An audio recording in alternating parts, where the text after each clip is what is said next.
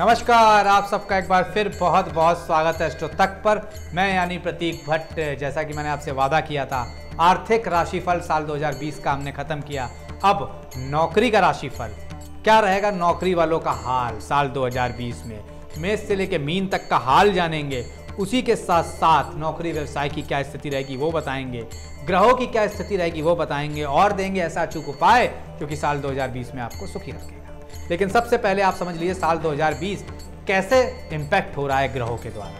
और मुझसे अगर डायरेक्ट जुड़ना चाहते हो एस्ट्रोलॉजर प्रतीक भट्ट फेसबुक पर टाइप करिए, मुझसे डायरेक्ट जुड़िए। और खास तौर से इस वीडियो को ज़रूर शेयर कर दीजिएगा, इतनी ही रिक्वेस्ट आपसे रहेगी। तो सबसे पहले राहु केतु रहेंगे वृषभ राशि और मिथुन राशि में। सितंबर तक रहेंगे मिथुन, फिर वृषभ राशि। शनिदेव महाराज रहेंगे मकर राशि में और 11 मई से सितंबर तक रहेंगे वक्री स्थिति में। साल की शुरुआत में देवगुरु बृहस्पति अपनी राशि धनु राशि में रहेंगे और 30 मार्च से वक्री सॉरी, आगे की एक राशि में जाके मकर राशि में चले जाएँगे नीच की स्थिति में, लेकिन नीच भंग बनेगा, कोई समस्या नहीं। अब बात करें ओवरऑल इस साल के लग्न की। देखिए, खास तौर से स्थायी लग्न बहुत ज़रूरी होती है नौकरी व्यवसाय की। तो कन्या लग्न का उदय हो रहा है और यहाँ पे जो चंद्रमा है, खुद छठे घर में रहेंगे जो कि नौकरी का घर। निश्चित तौर पर नौकरी वालों के लिए खुशखबरी वाला साल है। और साल 2020 का अगर आप सम करते हैं तो अंक आता है चार। चार अंक का मतलब राहु का साल। तो धनदायक साल तो रहेगा रहेगा। नौकरी में खास तौर से media, mass communication, TV industry Bollywood इसी के साथ साथ इंपोर्ट एक्सपोर्ट सॉफ्टवेयर वालों के लिए बहुत अभूतपूर्व साल रहने वाला है। तो ये साल निश्चित तौर पर उपलब्धि भरा रहेगा। अब चर्चा कर लेते हैं मेष से लेकर मीन वाली राशियों की। सबसे पहले मेष राशि का साल 2020 निश्चित तौर पर फलदायक रहता हुआ दिख रहा है। नौकरी से संबंधित कोई समस्या थी, खत्म होती दिख रही है वो समस्याएँ खत्म हो जाएँगी। नए साल पर आपके जो का मेहनत है, उसका फल आपको मिलता हुआ दिखेगा। उसी के साथ साथ ऑफ़िस में बॉस आप पर मेहरबान रहेंगे और खास तौर से शत्रु पक्ष हावी नहीं हो पाएगा। उच्च अधिकारियों से बेहतर संबंध पूरे साल बने रहते हुए दिख रहे हैं। खास तौर से उच्च पद पर बैठा हुआ कोई व्यक्ति आपको लाभ देता दिख रहा है, प्रमोशन के योग बनते दिख रहे हैं। अगर नई नौकरी की तलाश है तो निश्चित तौर पर वो तलाश फरवरी से लेके जून महीने के बीच खत्म होती दिख रही है और इंक्रीमेंट अप्रेजल भी बेहतर होता है इस साल दिख रहा है, मेष राशि वालों के लिए। अब क्या करना चाहिए? महा उपाय आपको जिससे स्थिति बनी रहे। आपको खास तौर पे सूर्यदेव को जल अर्पित करना चाहिए, लाल चंदन का तिलक लगाना चाहिए, माथे या कंठ पर लगाएँ तो और बेहतर है। अब बात कर लेते हैं वृषभ राशि वालों के लिए साल कैसा रहेगा नौकरी, व्यवसाय के लिहाज से। तो साल एवरेज रहता हुआ दिख रहा है, मिश्रित रहेगा, ऐसा नहीं है कि इससे लाभ नहीं मिलेगा, लाभ भी मिलेगा, लेकिन कुछ स्थिति ऐसी रहेंगी जहाँ पे आपको बहुत मेहनत करनी पड़ेगी, तब जाके सफलता मिलेगी। नए साल पर हो सकता है आपको मेहनत और योग्यता के अनुरूप जॉब ना मिल पाए, लेकिन मार्च तक ये भी स्थिति बेहतर हो जाएगी और नया जॉब मिल सकता है जहाँ पर स्थिति बेहतर हो। ऑफ़िस में थोड़ी बहुत पॉलिटिकल स्थितियाँ क्रिएट होंगी, जिस वजह से आपका मन थोड़ा सा अप्रसन्न रहेगा, थोड़ा सा ध्यान दीजिएगा। ट्रांसफ़र का योग बन रहा है, कोई नई जगह जा सकते हैं, जिससे हो सकता है आपको थोड़ा सा सामंजस्य बैठाने में कुछ समय तक दिक्कत आए। उच्च अधिकारियों से संबंध एवरेज रहते हुए दिख रहे हैं, कोई बहुत खास नहीं रहेंगे।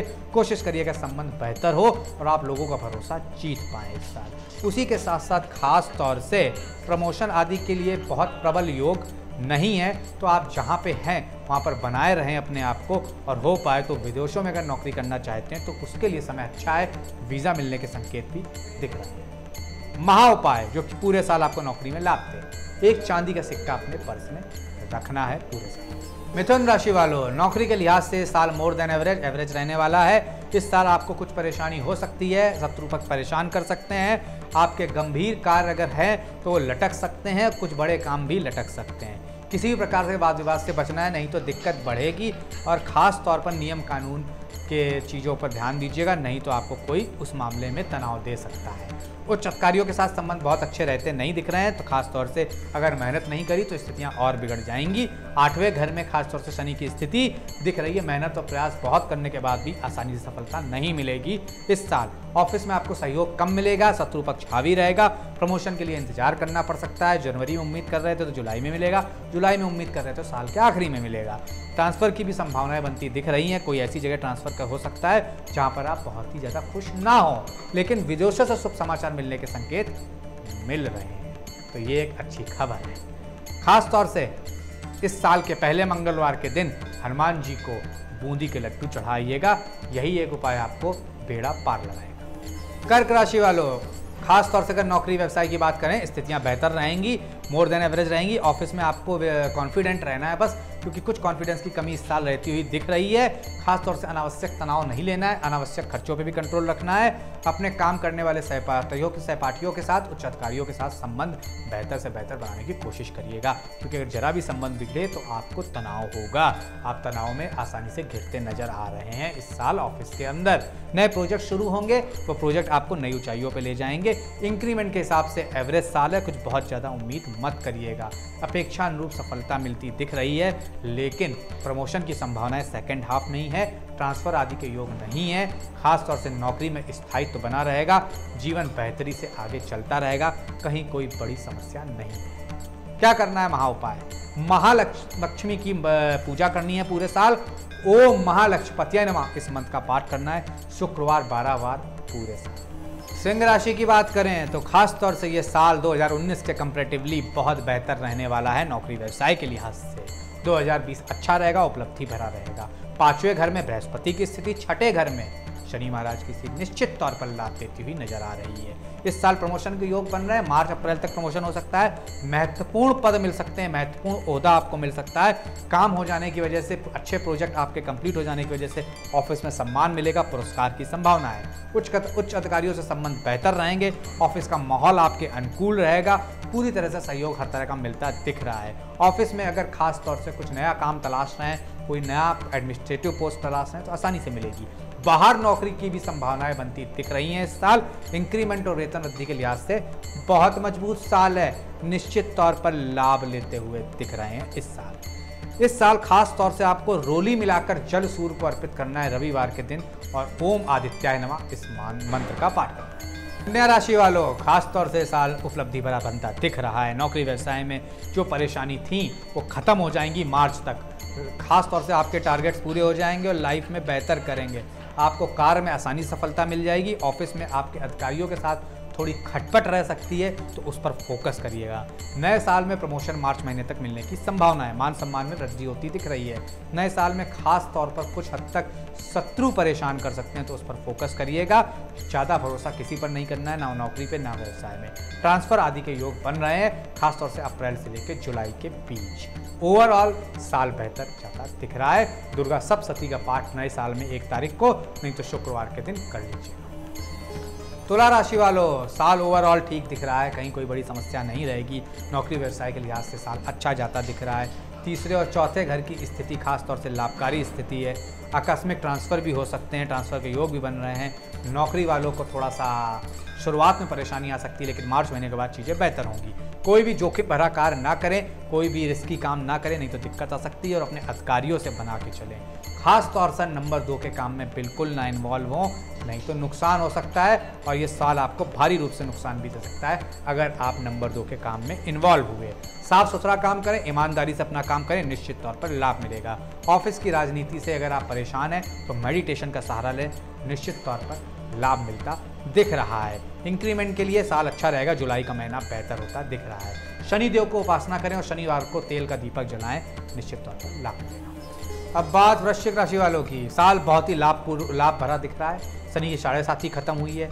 बहुत रिलीफ फील करेंगे। नौकरी में नए नए मुकाम हासिल होंगे इस साल।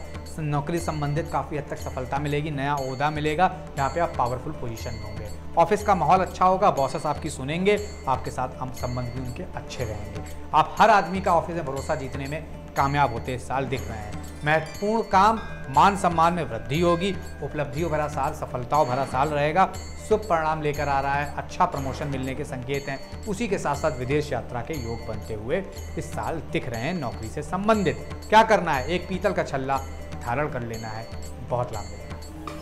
धनु राशि वालों, पिछले साल की तुलना में इस साल थोड़ा बेहतर होता दिख रहा है। निश्चित तौर पर देवगुरु बृहस्पति की स्थिति लग्न में और दूसरे घर में खास तौर से शनि देव की स्थिति बेहतर रहेगी। शनि धीरे धीरे धन देंगे धीरे धीरे नौकरी में बढ़ाएँगे, लेकिन बढ़ाएँगे ज़रूर, जहाँ पे भी आपकी नौकरी रहेगी स्टेबल रहेगी। नौकरी से जो समस्याएँ हैं, वो काफ़ी हद तक कम हो जाएँगी ऑफ़िस का वातावरण बेहतर होता चला जाएगा शत्रु पक्ष हावी नहीं रह पाएगा और ख़ास तौर से मेहनत ज़्यादा करनी पड़ेगी, लेकिन उसका खास तौर से जो रिवार्ड है वो साल के आखिरी में मिलता दिखता है। अच्छे प्रमोशन होंगे इंक्रीमेंट अच्छा होगा, लेकिन साल का आखिरी तक इंतज़ार करना होगा धनु राशि वालों को। सूर्य देव की उपासना करिए, तांबे का एक सिक्का अपने पास रखें, पूरे साल मकर राशि वालों के नौकरी के लिहाज से साल लाभप्रद है। पिछले साल की तुलना में काफ़ी हद तक स्थितियाँ बेहतर रहेंगी भाग का सहयोग मिलेगा और खास तौर से मन मुताबिक जगह ट्रांसफ़र हो जाएगा। ऑफ़िस में काम करने वालों का भी सहयोग मिलेगा और खास तौर से हायर ऑफ़िस अथॉरिटी आपको सहयोग देती हुई दिख रही है। सिर्फ़ आपको किसी भी बात बात विवाद से बचना है ऑफ़िस में और नंबर दो के काम में बिल्कुल इन्वॉल्व नहीं हो रहा है, क्योंकि शनिदेव महाराज आपके खुद लग्न में है, चंद्र राशि में है। तो निश्चित तौर पर नौकरी बदलने वालों के लिए समय बेहतर रहेगा। फिर नंबर एक के काम में बने रहे। विदेशों से कोई शुभ समाचार मिल सकता है। विदेशों में लाभ होने की संभावनाएँ बनती दिख रही हैं। शनिदेव की उपासना करें और हो पाए तो शनि चालीसा का पाठ करें। शनिवार के दिन लाभकारी रहेगा। कुंभ राशि वालों के लिए एवरेज साल है ये। खास तौर से बारहवें घर में शनिदेव की स्थिति नौकरी को थोड़ा प्रभावित करेगी। नौकरी में परिवर्तन होंगे और ख़ास तौर से आपकी आपकी आशा अनुरूप ट्रांसफ़र नहीं होगा। और हो सकता है जहाँ आप चाह रहे हो वहाँ पे ना जा पाएँ और लटक जाएँ कहीं पे। इस स्थिति को का आप लाभ भी उठा सकते हैं मेहनत करके। जितना मेहनत करेंगे, लाभ मिलेगा। इस साल ऑफ़िस में थोड़ी सी स्थितियाँ खराब हो सकती हैं, शत्रु पक्ष हावी हो सकता है और आपके स्वास्थ्य की वजह से भी आपका काम में मन और काम में फोकस कम हो सकता है, इसलिए स्वास्थ्य का भी ध्यान दें। और घरेलू स्थितियाँ भी कहीं ना कहीं थोड़ा सा दिक्कत दे सकती हैं, इसलिए बिल्कुल लापरवाही ना बरतें बरतें और ख़ास तौर से नौकरी में लापरवाही आपको भारी पड़ सकती है इस साल। तो थोड़ा सा ध्यान दीजिएगा। शिव चालीसा का पाठ सोमवार के दिन लाभकारी रहेगा। मीन राशि वालों के लिए नौकरी व्यवसाय के लिए साल 2020 बहुत अच्छा है। नौकरी में शुभ समाचार मिलेंगे, बेहतर नौकरी के अवसर मिलेंगे, तरक्की, प्रमोशन की संभावनाएँ, ऑफ़िस में बेहतर माहौल होगा, आपके प्रदर्शन बेहतर होगा, साथ ही ऑफ़िस में साथ काम करने वालों का भी सहयोग मिलेगा। मान सम्मान में वृद्धि होती दिख रही है, उच्च अधिकारियों का सहयोग मिलेगा आशा अनुरूप सफलता मिलेगी, जो आपने सोच रखा है वैसा प्रमोशन मिलेगा। इंक्रीमेंट मिलने के संकेत है, मन प्रसन्न रहेगा, आर्थिक लाभ के भी मिलने के संकेत है। विदेश यात्रा इस साल खूब करेंगे, उससे संबंधित लाभ भी मिलेगा। जीवन में खास तौर से ये साल नौकरी के लिहाज से बहुत अच्छा रहेगा, आपका डोमिनेंस रहेगा, जीवन बहुत तरक्कीपूर्ण रहेगा, और नौकरी व्यवसाय में नए नए आयाम गढ़ेंगे दो में। क्या करना है महाउपाय रविवार के दिन बारह बार गायत्री मन का पाठ ज़रूर कर लीजिएगा। हो पाए तो रोज सुबह शाम कर लीजिए, बहुत लाभ करेगा तो ये था नौकरी व्यवसाय का साल 2020 का राशिफल। शेयर करिए, सब्सक्राइब करिए, लाइक करिए, औरों तक ज़रूर पहुंचाइए। आज के लिए फ़िलहाल प्रदीप भट्ट का बहुत बहुत धन्यवाद।